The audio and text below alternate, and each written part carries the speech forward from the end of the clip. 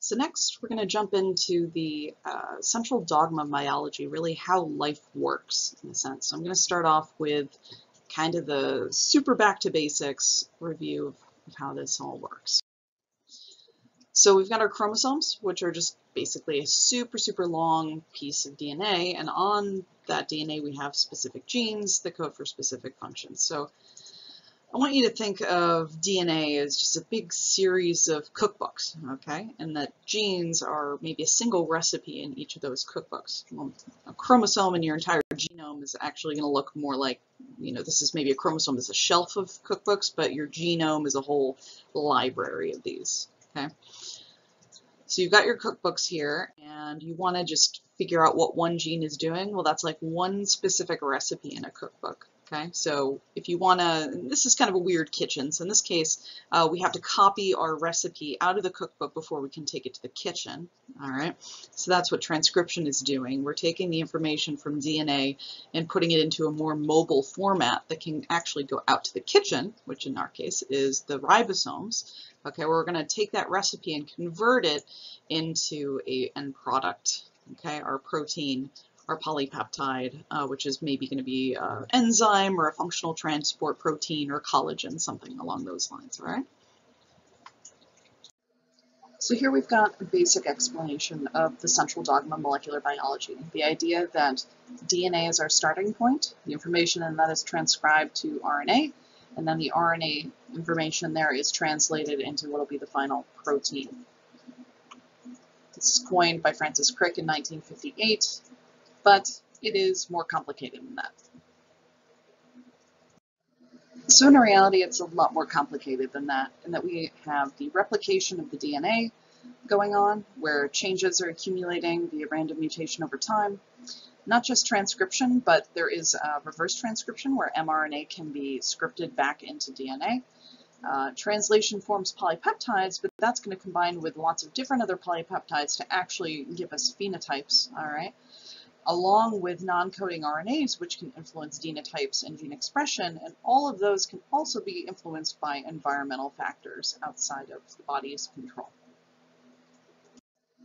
So the first step of gene expression is going to begin with transcription. Yes.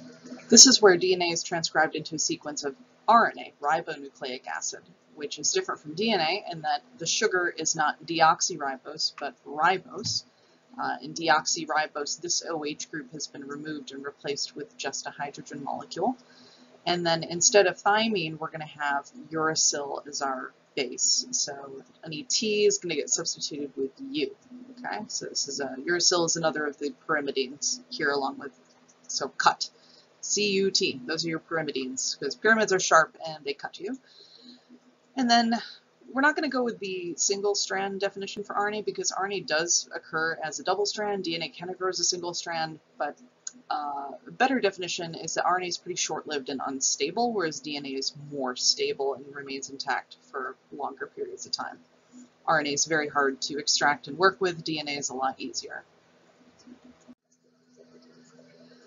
So in transcription, one of the DNA strands is going to be read and a new RNA strand is going to be built. That is what we call the template strand, the one that the RNA polymerase is going to be using as its template to build the new RNA.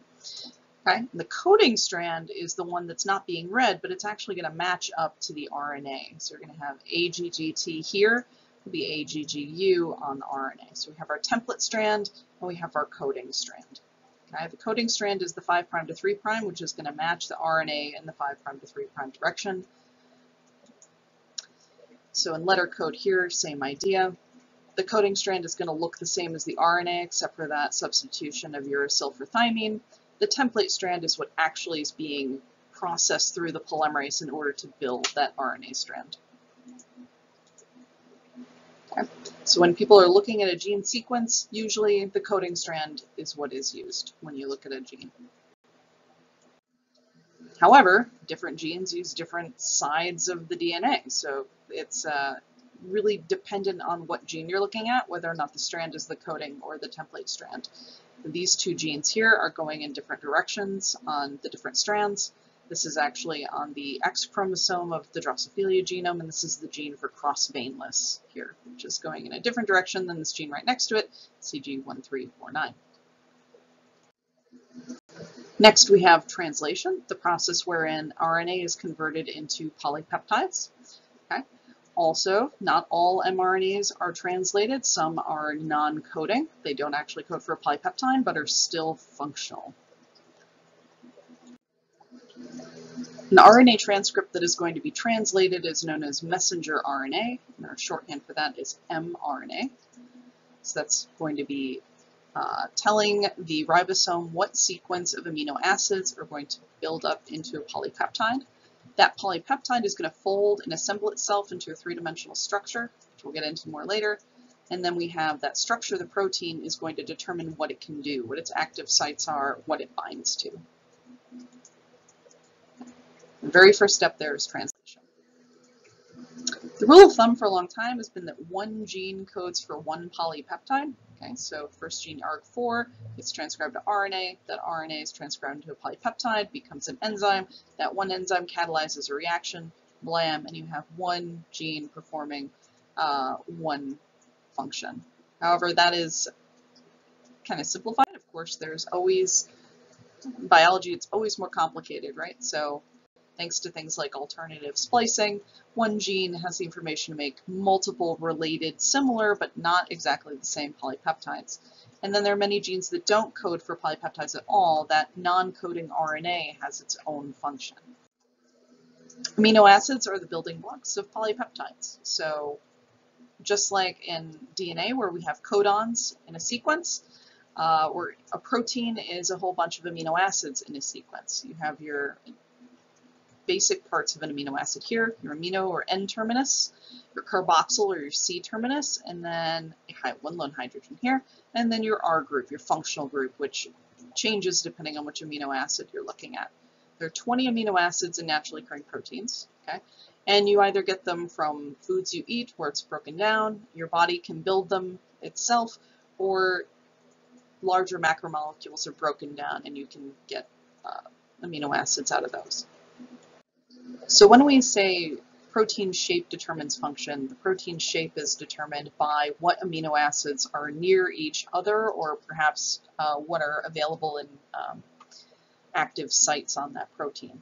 So the main groups here are ones that have a charge, actively either have a positive or a negative charge. Okay, the side groups are polar, meaning that they're they're not um, that they're actually pretty hydrophilic.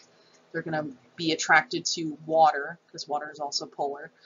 All right, so we've got our positive and negative charge polar amino acids. We have polar amino acids that don't have a charge per se, but they're still hydrophilic. Okay, this group here.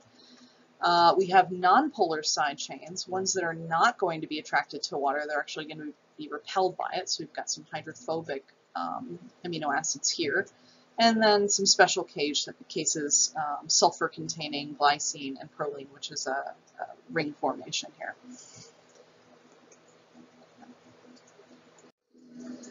So as these amino acids are added, they're added sequentially by the ribosome. And a peptide bond is what's going to be formed between the C terminus of one amino acid and the N terminus of the next, sort of like our DNA with our 5' to 3' bond. In this case, it's our C to N bond, our peptide bond here. It's also a um, dehydration synthesis reaction wherein water is lost.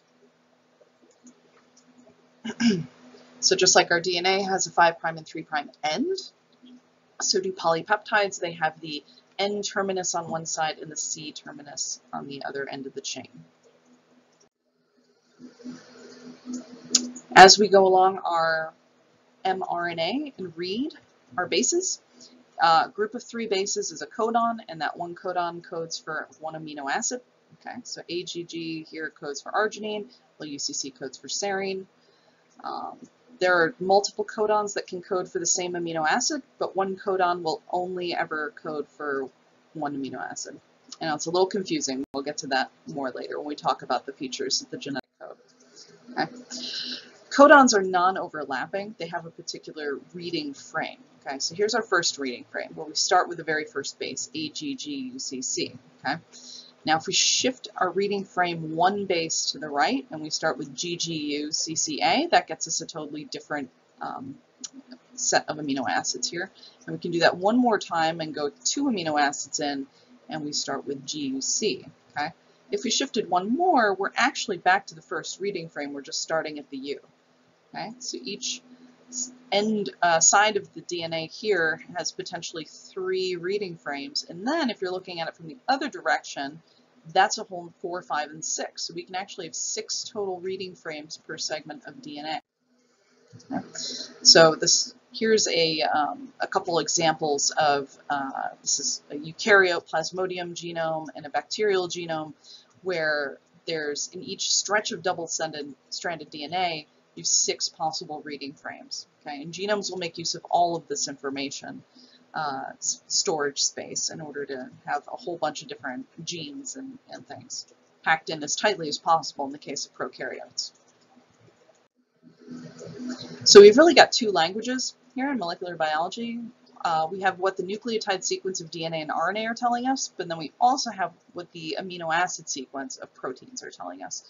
Uh, in most cases, these match up very well, but in terms, when you're building a protein, there's a lot of other stuff that goes on. You can have um, uh, post-translational um, clipping and enzymes that break up a polypeptide and stitch it back together, things like that. So there's some interesting stuff going on when we look at proteins that wasn't going on when we look straight at the DNA and the RNA. So, however, they do have a lot of similarities in that they are assembled from smaller subunits and they require a bunch of energy in order to build. They're read in only one direction, okay? Well, in DNA, you're actually reading in one direction on one side and the opposite direction on the other side. You're still only going in one direction.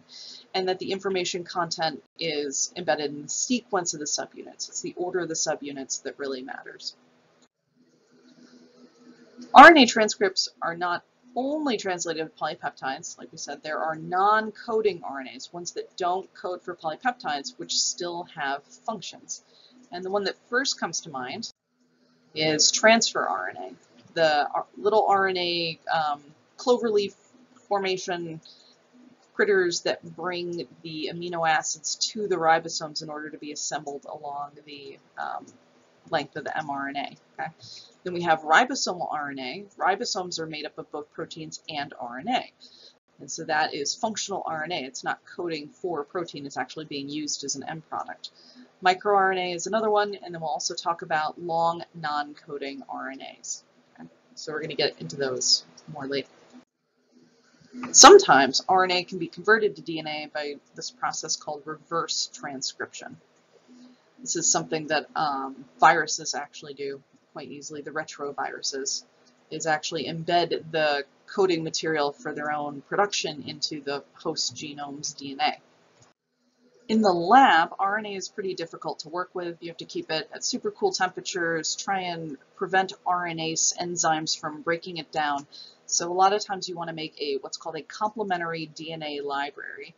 So you take your RNA and you copy it into complementary DNA using reverse transcriptase, and then you can synthesize the second DNA strand to make double-stranded DNA, which is even more stable. And this way you can take all your RNA sequences and basically convert them into DNA for storage and sequencing, and it's just a lot easier to work with.